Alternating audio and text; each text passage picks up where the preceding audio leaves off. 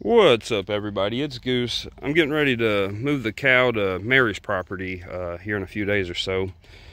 Whenever she gets done with her hay, um, I probably got like three to five days, we'll see. Um, but that's that's one of my movers when she's out of hay. Um, but this cow, she's around five years old and she had never been around hot wire. So I needed to train her to hot wire before I moved her to, to Mary's property. So you see in this corner, I just set up a single strand of hot wire. I got a solar energizer on it, um, which with that's uh, that's 25 or 30 foot of hot wire.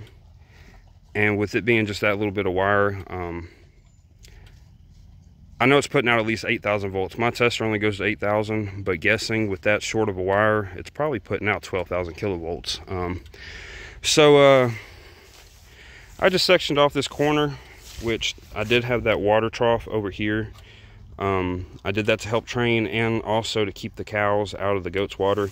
Uh, there's a there's a big water trough right there, that big black one. Um, right here. Uh, that's for the cows, but they and the the goats couldn't reach it, so they they were draining this little water trough, and um, then the goats wouldn't have anything to drink. Um, so I had that water trough over here to keep the cows out and allow the goats to drink it and also to give them a reason to come mess with this hot wire. Um, and then also um, I'm feeding her next to the hot wire so she comes in contact with it every once in a while. What she's learned, she is very weary of that wire.